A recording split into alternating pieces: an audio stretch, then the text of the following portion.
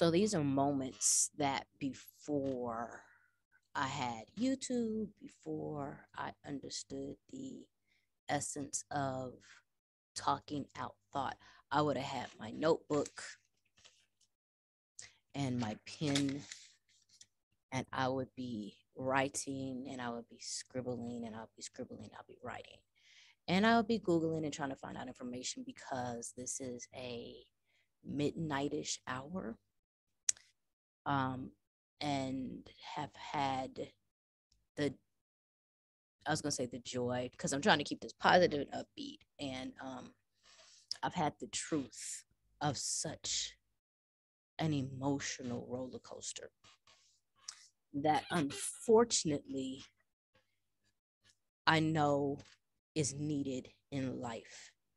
Um, we try to be stronger than our moments. Oh, the tears are coming. We try to be stronger than our past. And um, the way people deal with their past, present, or even problems says a lot about who they become. So I think that's one thing that we spend this time trying to figure out how to heal. Um, because we're constantly looking to be better than what caused us our pain. We're constantly looking at who am I after the healing? And my first question is, without saying it in such a evil way, is not about how to heal. It's are you dedicated to healing? And that's not the best way to say it, but what I'm trying to really say is that there's never going to be a 100% you 100% of the time. I think that's almost impossible. I think that's you going hard in the paint for so long. It's, it's just like saying um, Jordan or LeBron, even Kobe, um, is always on all of the time. And they had bad games. They had bad games. They had bad days. They had moments of imperfection. They had moments of confusion, moments of missed shots. Um, and that's what life is. Life is, like I said, these moments. And so when we talk about the pain, ooh, because I'm still going through it, the pain of the past, those things that you were can creep up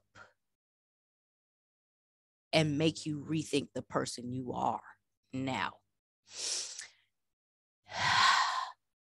you have to have time I think to understand it because I once again a lot of people are just like oh ignore it let it walk away or whatever else like that. And sometimes you can and sometimes you're like no nah, I got to deal with this because um and I alluded to in my last video you don't want the pookies of the past to come up and become problematic.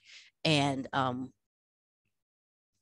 if we don't take care and understand our truths um or in my case, like I know that if I don't take time to pause and breathe, I will try to gloss over it. And there will be emotions stirred up and hurt that's stirred up. And while I look good on the outside, the mask is crumbling on the inside. And I won't even say the mask is crumbling. I'm going to say the soul is weakening and it cannot carry the mask. And those things are major. So, what I have had to revisit or go through is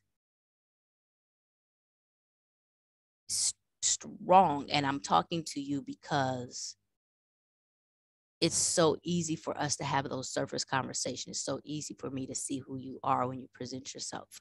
Um, and it's so easy when we talk about goals and dreams and always talking about the biggest and the best. Um, the tears, the rips, the brokenness that got you to where you are matter too. And it truly matters on how you handle those situations. And what I want to talk to you today is um, probably going to be the title of my poem if I write it down. I get so busy and I miss my words, but it's the beauty of the mosaic. Even though I Googled it and I don't think mosaic is the correct term, I'm using it. So bump y'all. Um, we have these moments that carry us through life. We have these images, we have these hopes, we have these dreams, we have these conversations, we have these emotions.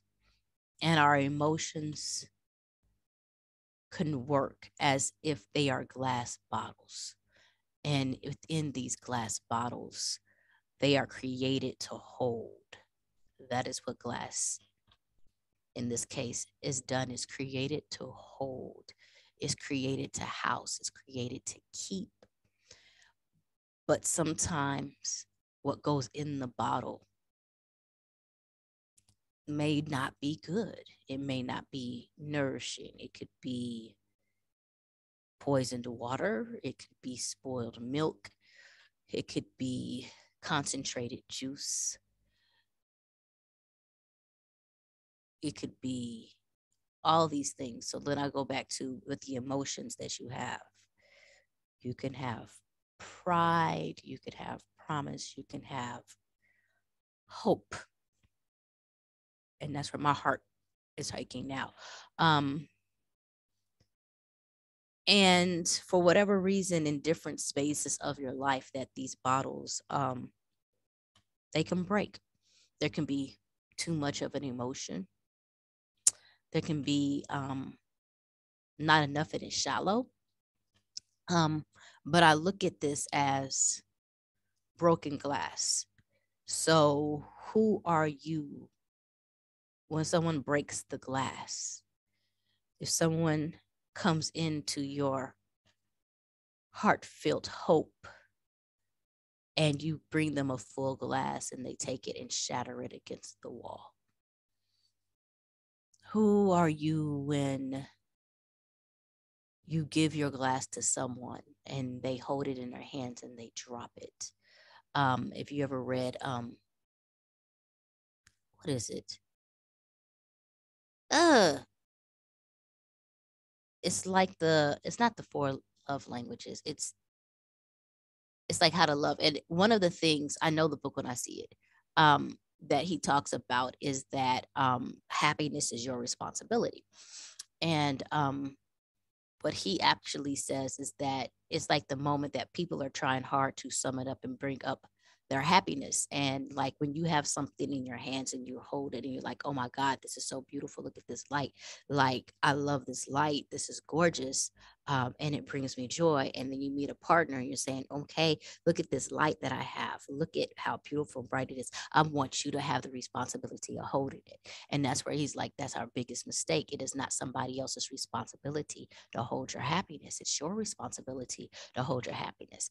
And uh, your person or your partner gets to partake in the joy of your happiness, but you take care of it and you honor it. So um, it takes a lot to learn how to do that. So I go back to the broken glass that you've given your glass of happiness and you're like god look how robust it is. Look at look at the aura. Look at the green light of the chakra that is within and look how it jumps and it it films and it's all this inside. Um why don't you hold it? And they hold it and they enjoy it and then they freaking drop it and it's shattered and the light is everywhere you can't gather it for yourself and it's just running around. So what happens to the broken glass? And um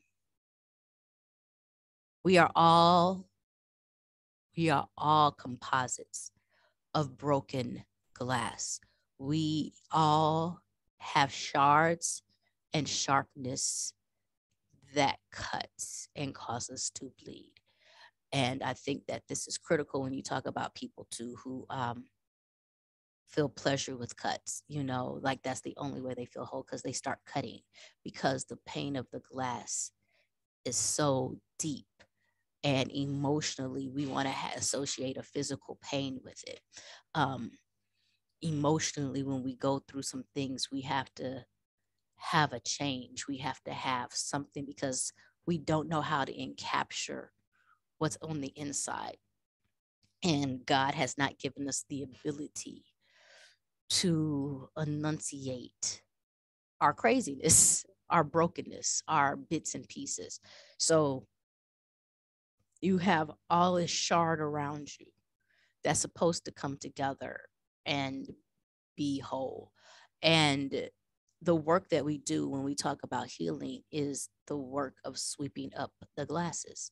Um, some people go and they say, bump the broken glass, I'm going to find new glass and I am going to take better care of this new glass. And they sometimes don't learn the lesson and it might get broken again and then they start building pounds and mounds of glass and broken glass um, some people sweep up the glass and they are determined to make it a bottle again and they are determined to make it function how it used to function. Um, they are determined to go back and relive what they used to be and not recognize that because the glass is broken, it will never be the same. Um, and I pause again here because I heard a wonderful conversation a long time ago when we talk about our greats and how we lost some of our greats, uh, Whitney Houston, our Michael Jackson. And we lost them because they were chasing after I would say new glass. Um, they were not new glass. They were chasing after, in this case of my analogy, um, rebuilding um, broken glass. They wanted to outdo their greatest moments. They wanted to prove that they were still phenomenal. They were still these things. And they started running so harshly towards new goals instead of recognizing and being so proud of the goals that they've already accomplished and being proud of being number one in 88 or 87, maybe 94. Um, and so when it was time for them to create new music or new things, they could go in with the pride and just do something that they loved. They've already done them. They've already, um, and I hate saying this is so cruel, like they've already Mariah Carey. And what I say about Mariah Carey is that y'all know Mariah Carey new music be like you know, we love Mariah Carey from them old notes from Vision of Love. We love Mariah Carey from We Belong Together. And Mariah Carey is still trying to constantly reinvent herself. However, she knows she is the top dog because of what she did. Because all I want for Christmas is still going, and she be posting plaques like she released all I want for Christmas like yesterday. And so what I'm saying is, is that it, that's fine. Like what you have done is sufficient enough. It came from your hands. So what happens is people don't do what I'm about to say with the glass. They're going back and trying to reposition their old glass and fill it back up again. It's the same equivalent when you have like that old school person. I'm gonna I'm gonna bring it back to you one time. You know what I'm saying? I'm gonna I'm gonna show you how it's supposed to be. No, there's a reason why it's not like that anymore. Now we can go ahead and relish in something that makes us feel good and old or old schoolish, but in the same essence, time for new glass. So we have people who decide to try to find new glass bottles and never clean up the broken ones on the end. We have people who are trying to take the glass bottles and piece them back together so they can be what they used to be. And then we have um, people who pull the glass together and um, decide to make something of it. And so we almost get to the beauty of the mosaic. I hope you get where I'm going to with this one. But let me tell you, I'll tell you, yeah, let me tell you that. So, the beauty of the mosaic, the mosaic is a piece of art. Um, if you're not too familiar with it, if you go into Baptist churches, they always got the glass um, windows of God, you know, and um, even the genocide has these beautiful mosaic glass pieces um, put together in certain areas um, to help show um, what the genocide was and where we can go from here. Um, but the mosaic is, actually made up of broken tile or broken pieces, but there is mosaics that are made of art. I mean, art of um, glass.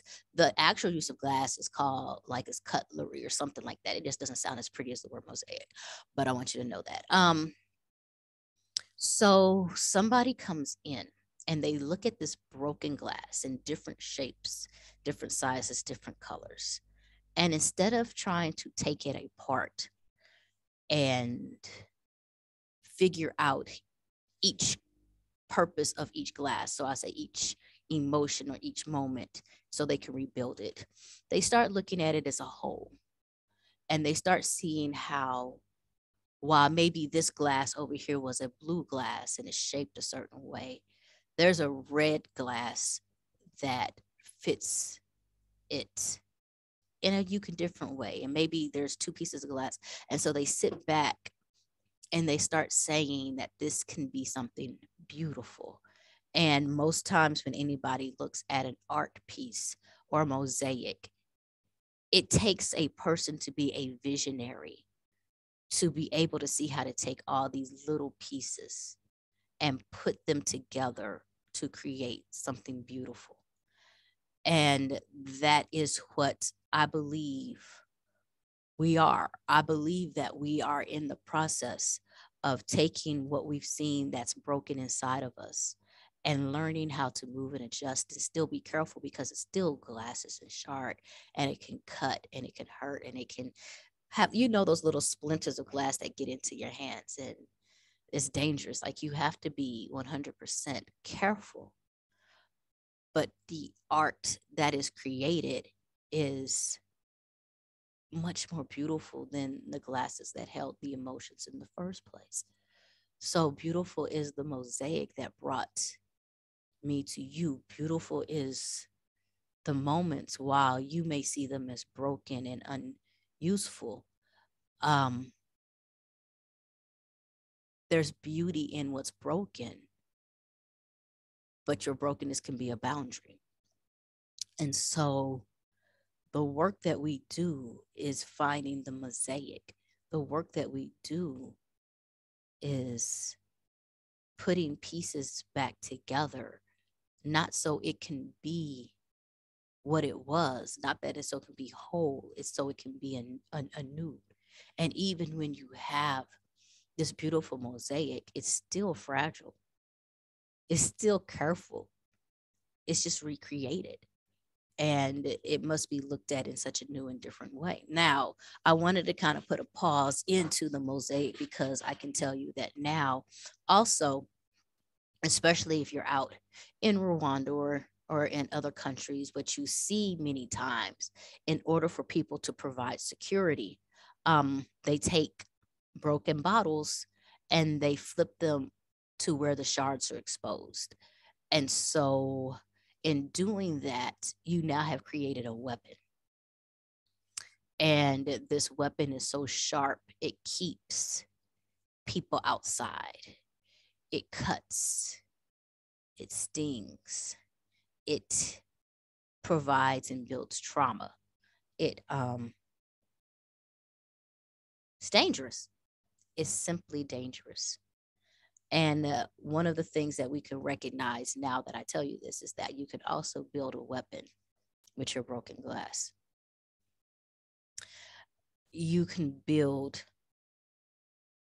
so much.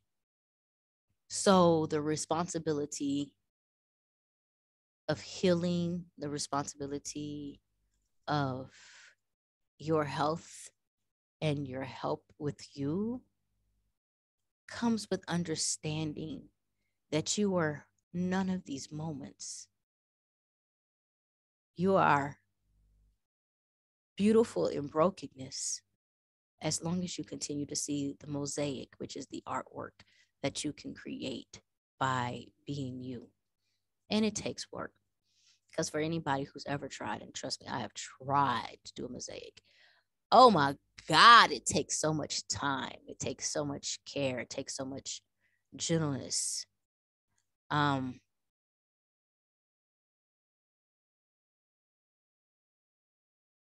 but the end results are definitely worth it. It's worth taking that time. It's worth taking all of that. But by you forgetting how beautiful you are, by you forgetting the beauty in your journey, by you forgetting the beauty in your purpose, it's so easy to flip one of those glass pieces around and become a weapon, a weapon against somebody else, or worse yet, a weapon against yourself. Humans are made to bleed because sometimes even that is a release. And sometimes asking for pain makes you feel like that's the only way to be heard. Sometimes we numb it with substances. Sometimes we simply lie to ourselves. But we must learn in our own moments and in our own ways how beautiful we can be. Can. In our brokenness. And what can happen is when you look at a mosaic, you may only see the broken shards, and somebody else might actually see the beauty of the art. So,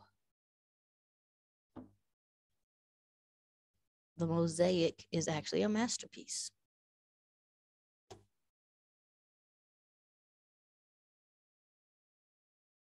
At one point in time, it could have been called a miracle because glass is never supposed to work again, right?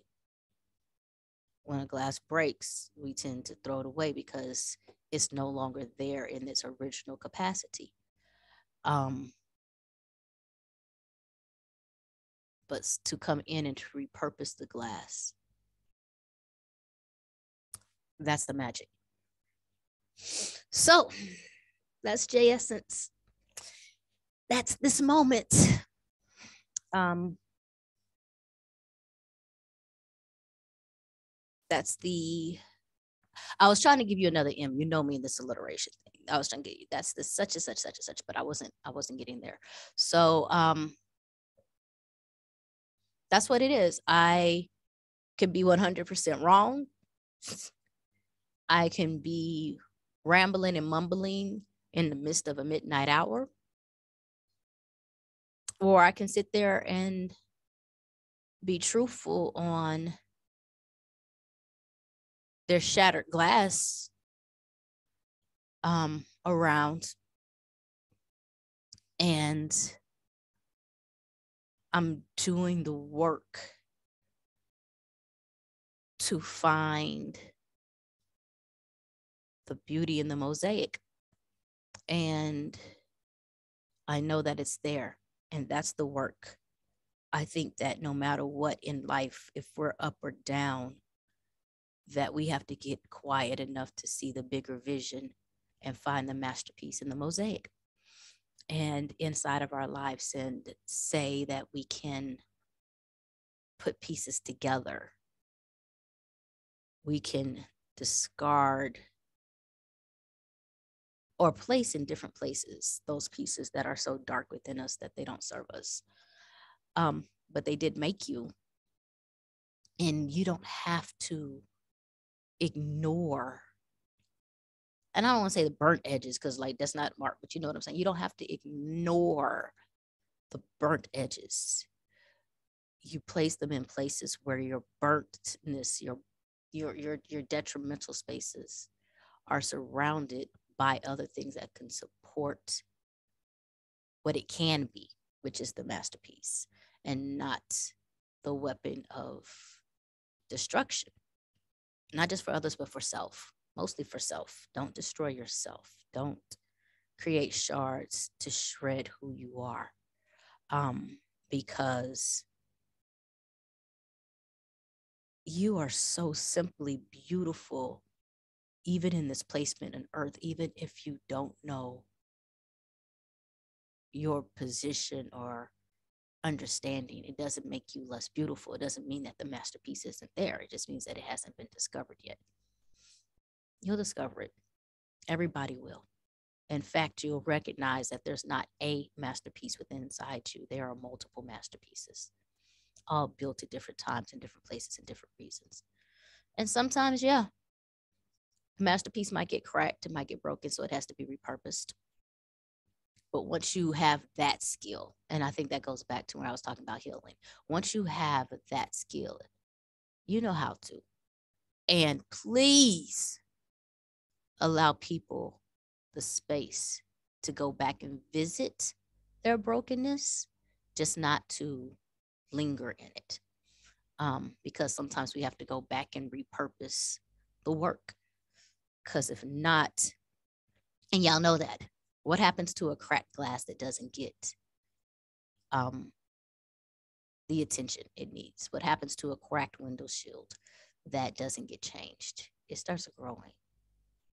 It starts creating new webs and weaknesses that can get demolished by a single tap. And you last thing you need is glass in your mouth. Glass in your mouth. In your mouth. Okay, that is so not possible. Positive. But um that's it. So that's um the space. I kind of love the fact that I have 150 followers. I don't think I would have ever posted this um, with 3,000 followers. I don't know if I would post it now because it's so true. Um, but I hope that me sharing the foundations of my poetry, because that's what this is. Um, gives you a space in your world or moment to understand yourself. Because I was going to say, cheer for yourself. Mark. We're not there. We're not quite there.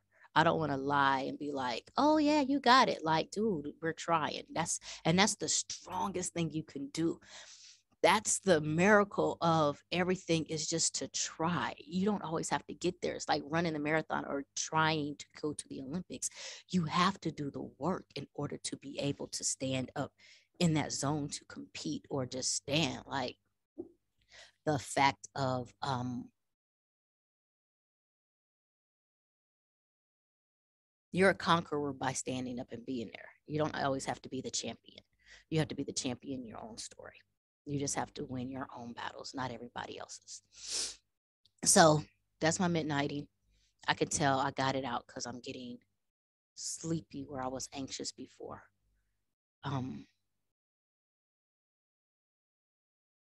and for me, um, to be transparent in this because everybody's like, oh, Jai Essence is so positive. Jai Essence is this, Jai Essence is that. Um, It's the fight for hope. That's it. I'm fighting for hope. That's my mosaic. All right, I hit you.